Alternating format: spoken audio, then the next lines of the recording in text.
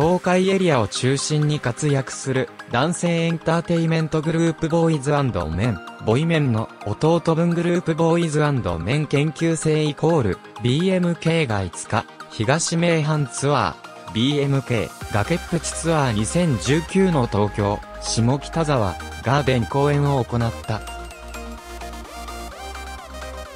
半年前にも同じ場所でライブを行ったが、今回はチケットが即完。芝叩く間にファンを増やしていることに驚くが、オープニングからエンディングまで、終始パワーに溢れたエネルギッシュなステージで、人気の理由も納得できるというものだ。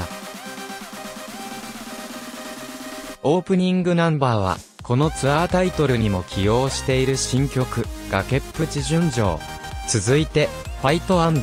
ファイヤ、ロックスター番長、ドドンコドントワリー、バッシャン、と乗れる楽曲を畳みかけていく。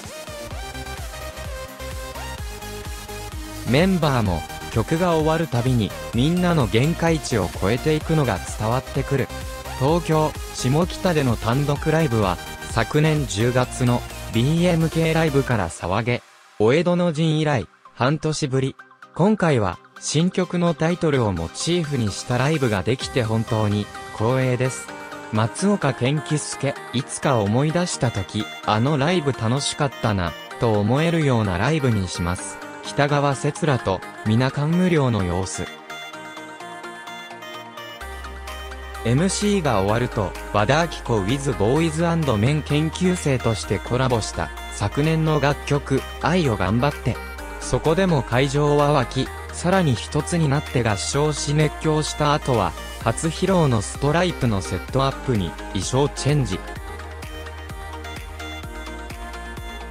ウィッシュハピ、I wish you happiness では、キュートで、コミカルに、シングアロングではセクシーなパフォーマンスを見せ、エネルギッシュから一転した、しっとりした一面も垣間見せた。東名阪ツアーは、東京のこの日で2公演目。BMK として確立したパフォーマンスを改めて見せつけ、観客の期待にしっかりと応えた。7月13日には、ゼップ名古屋単独公演が決定するなど、活動の規模も確実に拡大している。